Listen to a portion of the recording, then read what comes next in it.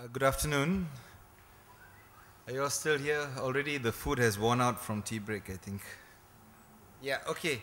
Okay, uh, the topic of uh, today trying to look at uh, where's our country at, and thank you to uh, KJ John for bringing history into present, and Mr. Ho for acknowledging that there are pains, serious pain. I think that's a good start in working through our issues. eh. Uh, it's very difficult to find uh, uh, government ministries to say, yes, we have pains and let's look at the pain.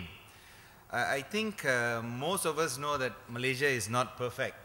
Which country is? You know, I, no country will ever stand up to say they're perfect. Neither are we. But it, we want to work through that difficulty and challenges. So the starting point is that list. uh, so I, I, I want to hear the, the other nine at some other forum, huh? the, the, the pains. But uh, today, just to get on, on the issue of, of minority, I, I want to uh, use this point about acknowledge. First of all, we have to acknowledge that the country has ethnic, religious, linguistic minority. There are minority groups of all sorts. Uh, all of us could be majority in one side, on the other side, you, your language is not respected, your religious belief, the way you speak, your sexuality. So there's a whole list, and I think that's a starting point now. That uh, different groups, because of their power within a larger society, will have some considerations for, us- uh, for us to, consider, uh, to consider. And we need to acknowledge that, uh, that there are minorities in our country.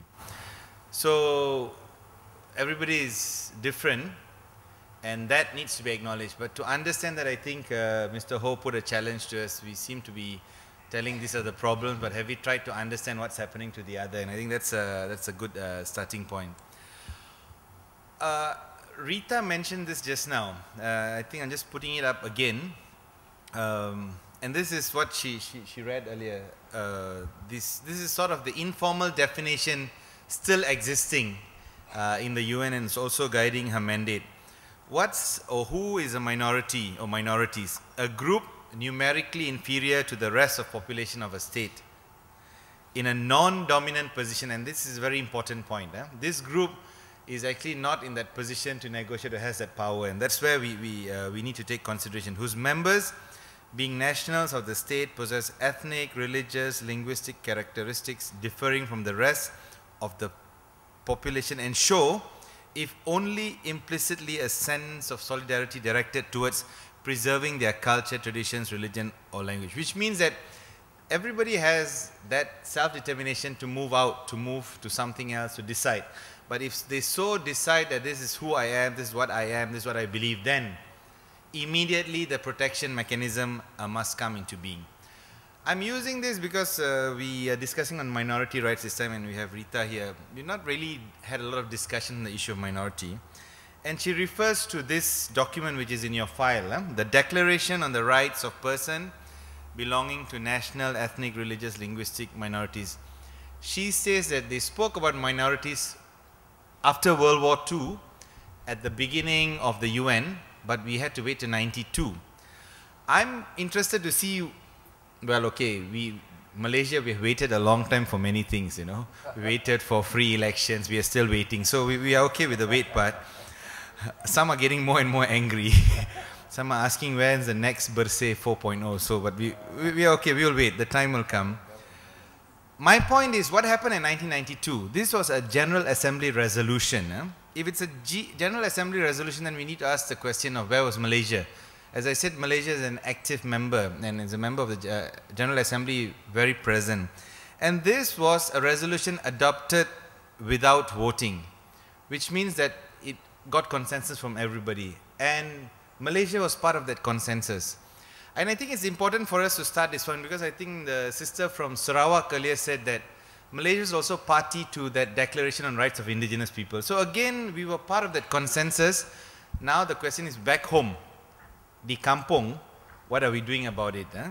So, mean Malaysia is part of the consensus, and that's why we are asking our government, hey, this is a standard. Can we look, try to integrate that as part of, of, of, of our system? And I think the, the four elements that Rita mentioned are, are also written there, the four points. My question is, I don't think we need to convince the Malaysian government on minority rights protection. And I'll tell you why. Not because of examples in the country, yeah? of examples overseas. Malaysia has done very well to show its solidarity and passion and compassion for issues outside the country. And all these issues are minority issues, the Palestine solidarity. Rightfully, we need to all be involved. The South Thailand, they facilitate to find in, uh, a strength for a minority group for years ha have been being dispossessed of the identity in land. The struggle movement, sorry, I, the, the, third one is South Philippines, uh, not two South Thailand mistake. Yeah? The South Philippine, uh, we were part of the negotiation peace process, another minority group. The Bosnians, do you remember 10, 15 or 20 years ago, so much of help, scholarships, uh, protection for them to come to Malaysia. And now for the Rohingyas, there is compassion. The world is struggling on what to do legally. There is no status for Rohingyas, but Malaysia allowed a gray area to allow them some. I'm saying that the Malaysian government understands minority rights protection, but they do it outside. And this is, this is my biggest this is my biggest question. If you know what the regime is, do it inside too, because you have the expertise. The Malaysian government understands this concept that minority, minorities need protection. Minority needs facilitation and promotion. So I have great strength to uh, demand the government to use that for all the people in country, whatever affiliation. Uh, we spoke about the Shiite groups. You know, why the sudden outbursts against uh, believers who have a different way of, uh, of practicing Islam. Uh, then we heard about the sexual uh, minority. The questions of language, of schools, Tamil schools, financial, uh, Chinese education, recognition. There's a whole list of issues that I think the, the pain, eh? the, the list of pain, we can handle this. We can handle this because we have the expertise to handle minority rights. I don't want to allude that this is symbolic I think it's not symbolic. Malaysia has consistently said yes to many of these issues. But it's time to take that back home and we must demand this. And I, I don't want to say support for these issues because these are Islamic issues. These are not Islamic. Issues. These are human rights violation issues. These issues belong to the whole world. Palestine is not a Muslim issue. Palestine is a global human rights violation issue they've been systematically denied their identity, their place of uh, birth, origin, since time immemorial. It's nothing to do with being Muslim. So that's why they are minoritized in that land because of big power players taking over and countries are going to show that support.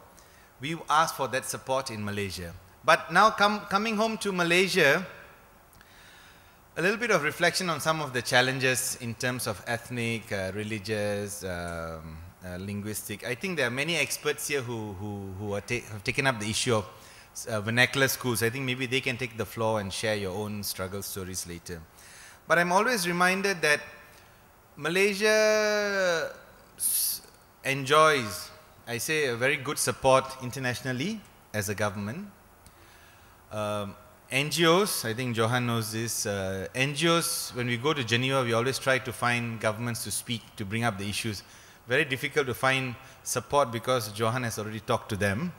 And they, it's not, not that, it's because they actually say, Malaysia, your problem, I understand, it's, it's real, but ah, yeah, it's not so big an issue, like, you know, compared to another country, yours is quite okay. Then we find, we are suddenly jammed. You can ask many human rights people who go to Geneva, it's really stuck because you're, for us Malaysians, it's not comparing to another country. We feel the pain about our own country. But when you go there, they, each government is thinking, I have one minute to speak which country shall I speak about? And normally it's not Malaysia, you know.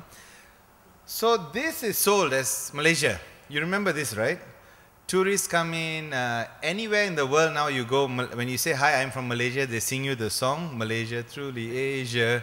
So, so the promotion of the tourism department, although you may not like Yen Yen, but I think it was successful. Maybe it was successful, no? This uh, Malaysia, truly Asia. So imaging, we've got it, we've, got, we've worked out our, our unity. Yeah? And I think there are some strengths, but I think we need to unpack. And coming out of the airport, this is what you see. Then this is a cartoon series that I think probably is in your, your bags uh, for reflection and discussion. Then the, the tourists who came from Malaysia through Asia suddenly gets confused. Hey, why are they now talking not I am Malaysian? When we go outside, we're always Malaysian, right? When we come back home, hi, I am Jerald, I'm Indian. I am suddenly you forget you're Malaysian. So a little bit confusing, uh, just coming out of the immigration for us. Eh? So suddenly they said, why we suddenly talk about Bela India or uh, defend the Chinese, the Malay? Why the parties uh, are, are, structured? So a confusion immediately comes uh, come to play. We have this. We have this. This is reality. You spoke about the Raya and the apa uh, open houses. Today I heard there's open house in Jabatan Perdana Menteri, yeah? Yeah. yeah. So if you still got time, no, no, Johan, you are eating lunch, you're not going, you stay here. So open houses, our culture, I think MPPJ will be organizing Chinese New Year, Raya, Deepavali. I mean, free food is their way of solving problems in Malaysia. so we are not complaining about the free food part. That's all right. We like the food. So all this is acknowledged as our heritage. Eh? I don't think we got a case. This is, this is our beauty. We, we take it. But now we need to go to the pain. And the pain is not very, very good reminders. Because we're talking about religious minority. This is a small group, and I, and I like the point uh, I think you made, eh? KJ, or somebody said a small group getting loud visibility seems to be getting uh, traction on national news. I don't think this is all Malaysians or all Muslim, a very small group, you know. And what happened when people want to insult another religion? I mean, nobody should do it to any, any religion. Once you realize you've done something offensive, withdraw, apologize, and, and move away. If you have done something. So the motive is, is, is very, uh, so you remember this, huh? the, the, the, the protest, the cow head protest, uh, and for Hindus, uh, cow is a very sacred animal then we are reminded of, of the church burning. I don't think anybody here is really interested in burning any buildings, you know, but using that as a symbol to show might and strength and disrespect for minorities. And this is what the message is coming out. It's always trying to posture and how come this has happened. And then another small group. I call this a small group. Uh, it's not a big group, but let me tell you, they always will give uh, 200,000, 500, when Bersih, they said we will bring out, don't know how many, how many hundred, uh, how many thousands, but no one came, you know, 50, 30. Uh, well, unfortunately, a, a, a, former statesman, a former prime minister is amongst this, this meet. So I don't know whether this is concern for the welfare of a community or posturing of an ideology against minority equality rights. And this is... I see a Malayali there. Oh, okay. KJ John's eyes is always very Malayali eyes, so he said he sees a Malayali there. So these are our realities uh, uh, in in, uh, in, Malaysia, and I want I only bring this back to say that we have both sides, the beautiful Malaysia and the not so beautiful Malaysia. And I think the pains is what we need to address in addressing minority rights.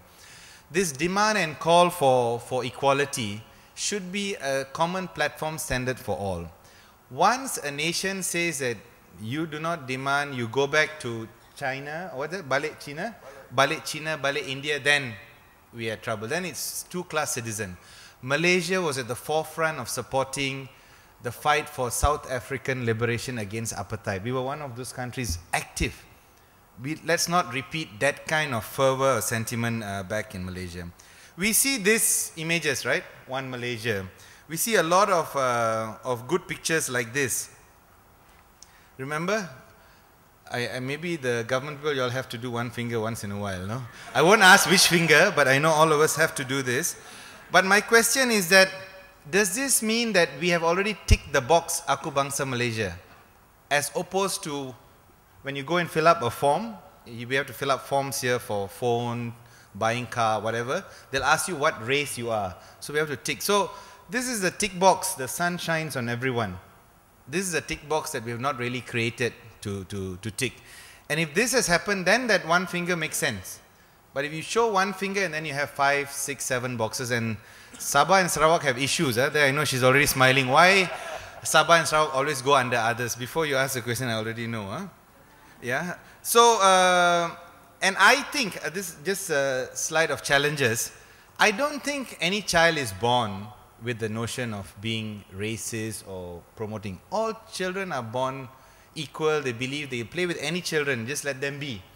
This is thought, either thought from parents, grandparents, from images, from community, and the school. The school has a place to, uh, to play. We have enough stories of teachers uh, shouting wrong words, uh, telling balik China, balik India, uh, giving ideas of not to uh, join together. We only hear stories of the older generation saying, before I could sit together and eat together, now I cannot. So why is this before was possible, now cannot? Where did this change about? Why in schools we are not ask, uh, helped to ask questions? And this is another part of opening up Malaysia, you know. Uh, is critical thinking, dissent, part of the Malaysian education system? Or it's just a banking method? And I think for a nation to develop, we need to, to, to ask this question. Uh, the challenges, I always tell this story about a child wanting to be a prime minister, uh, a workshop I did before, a workshop with youth of 30, 40 youth. So, I, you know, what's your vision for the future? Everybody did the normal engineer, lawyer. One, one person said, I want to be a prime minister. And then all started laughing. So I was the facilitator, I was a bit jammed what to do. But the child was an Indian child. The rest were laughing because, hey, what, you cannot be prime minister. You are. So the guy was, what? why are you laughing at me? And this is the laugh we are all uh, sort of laughing at ourselves. How come? Every child should aspire to, to the highest possible office in the country, no matter what race, religion. Because you're a Malaysian uh, first, okay? I think the civil service issue has been mentioned. I think the history told and untold needs to be handled also. Because the history books cannot be the books of politicians. It must be the books of people's stories. We have painful chapters, May 13, but closing the chapter and hiding the chapter does not mean it's over. We have not come to a closure. Why can't we open and find closure? Like the RCI now in Sabah, the RCI, the Royal Commission Inquiry, that's the way to find closure. It's painful. So many names are throwing out. Politicians are hiding. Mahathir's name is also connected. So, but what to do? You have to uh, unearth the truth in order to find closure. We need to uh, say that this is not allowed anymore. Balik China, Balik India, any politicians or this must be immediately sacked. But the Prime Minister is not sacking anybody. Because, uh, the, I don't know, well, I haven't heard the Prime Minister speak for some time. Maybe he's busy, yeah. uh, common sensitivities, you know. Uh, you, we have sensitivity for, for no pork because of Muslim, but we have no sensitivity for no beef. You go for any function, they just serve. You go to schools, they serve. So there must be one standard for all. If there is a sensitivity for food, then let's ask who can. Then we will come find with a common agenda. But if we are not doing it, then we said, okay, there is this kind of food please be careful and eat what you want. But there must be one standard. You cannot have two standards and say we are one uh, Malaysia. And this is, I think you mentioned the word Allah, exclusive use of words and its meaning by religious authority. I think it's time to stop allowing religious bodies to dictate a nation that belongs to 30 million people. Huh? Finally, as we come to our independence celebration, uh, that sunshine for all of us, we need to unpack or undo institutionalized race-based discrimination, stop media that allows perpetuation of racism. And this is Utusan Malaysia and all the mainstream papers that just attack and promote. Uh, how can we allow that? You know, it's definitely a no-go there. Racial profi profiling in law enforcement. There's a lot of questions about shooting and killing. And I think this is perception. Eh? whether data is what Rita was asking, if we can get data, this can be dispelled. But if no data, we will continue. We will continue asking questions. Race-based politics and the affirmative action. I think affirmative action is not a free license to continue uh, di reverse discrimination. It's a need that needs to, to end at a time frame. And I think human rights, you mentioned the uh, General Comment 18, plus some other documents qualifies an affirmative action is a very short lifespan and it cannot be extended like the Malaysian NEP extend 10 years, 10 years, 10 years. That cannot be the formula because it will perpetuate racism. Thank you very much. Yeah.